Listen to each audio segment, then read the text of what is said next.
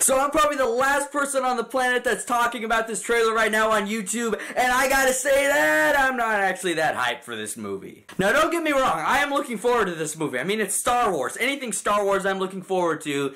But I'm to go on a little bit of a rant in this video, and we'll talk about the trailer, and as well as the Star Wars Battlefront 2 trailer that just got released, but I just wanted to talk about it say that I think that it really hurt Star Wars that they've annualized it as a franchise, because I just don't feel like it's an event anymore. I'm not like hyped for it like I usually was, like with The Force Awakens or or with Rogue One or anything like that. Because now they're coming out every year. Like they're it's obvious Disney's really milking this for money. So that's disappointing, and I'm just not as hyped for this movie as I want to be. But that's just how I feel. That does that doesn't mean though I'm not looking forward to it because this trailer looks great. It poses a lot of questions. We got to hear Luke Skywalker. We got to see Kylo Ren with his badass face scar. I'm surprised how much I like Kylo Ren. And I'm really excited to see how Rey's going to progress. That's one of the criticisms I had once the hype kind of died down for Force Awakens that although I really liked Rey, I felt like she was a little bit too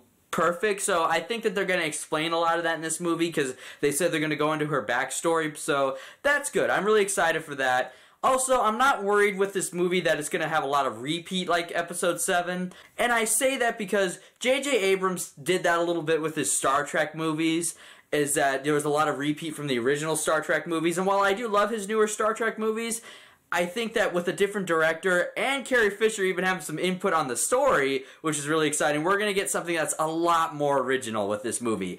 So I'm really excited for that. We get to see a lot of like great clips. Again, they're not showing us any of the story other than, you know, what we can like piece together that's happening after Force Awakens, which is great. That's good marketing. I hope that we don't see a whole bunch of trailers. They they need to market this just like they did with The Force Awakens. Like you know, they don't show any of the story, and I am perfectly okay with that. The special effects look even better. It looks like we might get some good space battles in this movie, too, because I didn't think Force Awakens had the best space battle. I thought that Rogue One finally gave us a good space battle. I don't think we've really had a good one since Return of the Jedi, so I'm really excited for that. I really want to see where they're going to go with this whole end of the Jedi thing, because Luke, I think, has come to the realization that in order to have balance with the Force, you can if you're going to bring balance to the force, you can have both the light and the dark side in you as long as you use it to like, you know, for there's going to be no no Sith, no Jedi, just nothing. And that's how the force will be balanced. And then maybe Luke will say something like the Jedi will come back when the galaxy needs them. The Sith will be there when the galaxy needs them and kind of like open up new doors. I want them to explore more of the, you know, maybe that the dark side really isn't evil. It's just how you use it. Maybe the light side isn't really good. It just depends on how you use it. So I really want them to explore these different avenues. I'm really excited to see Luke Skywalker. It's going to be hard seeing Carrie Fisher on there knowing that she's gone. You know, I I miss her already, but I heard that you know she's gonna have a big part in this movie. They got all her the scenes filmed, so I'm not worried about them like CGIing her in the movie or anything like that.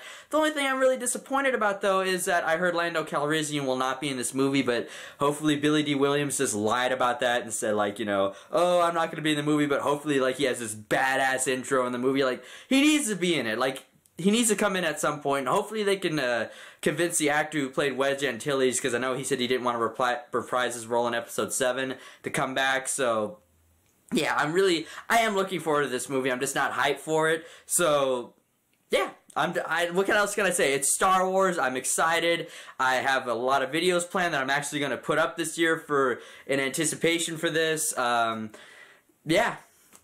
What else can I say? It's Star Wars. Now let's talk about Star Wars Battlefront 2, though. Um, I was a huge fan of Battlefront 2 as a kid, um, and the first Battlefront. I, I love those games on the PlayStation 2, on the PC. You know, I still have my uh, copy of Battlefront 2 on the PC that I mod and play all the time. Battlefront 2 Extreme Mod and the conversion pack. I love that game, and I still play it. Now, I don't have any next-gen consoles or a PC that's uh, powerful enough to play the new Battlefront, so I played it at a friend's house. I played it with, you know, a couple of my friends. So I don't have it, so I didn't play it avidly, but I don't think I would have bought it because mainly because it just had the Civil War, and although the Civil War is my favorite era of Star Wars, um, I think it, it was it just felt like that game was missing a lot. And from what it sounds like, EA to their credit, because uh, I know they're notorious for microtransactions and season passes, things like that. They've done that with uh, Battlefield, because Battlefield is one of my favorite franchises. That uh, they've they've done that to death, especially with Battlefield 4. But I feel like they finally listened to you know, the critiques of the fans. They're going to give us a single player. They're going to give us more heroes. They're not going to nickel and dime us. There's no season pass. So I'm excited, and I might buy a PS4 just for this game. I hope that it's not rushed. I don't think it'll be rushed. Like, that was one of the big problems with the other Battlefront game. I think it was really rushed just to go come out alongside Force Awakens. So this one looks like they're taking more of their time on it. Uh, looks like we're going to get a good story. I hope we have like a six to 10 hour story not just like a three or four hour story like we get with a lot of like regular shooters. I want to get a longer story with this one. So i'm really excited for it. looks like we get battles from rogue one the prequels the original trilogy and the new trilogy. So i'm really excited for that. And what else can i say? It's, it's more star wars so i'm excited. Um, not hyped but excited so that's it for me. As always, if you like what you see, go ahead and hit subscribe. You can follow me on Facebook and Twitter. The links are in the description below. Also, be sure to check out my website. The link is also in the description below. And remember, I waste my money so you don't have to. And may the force be with you. Thanks for watching.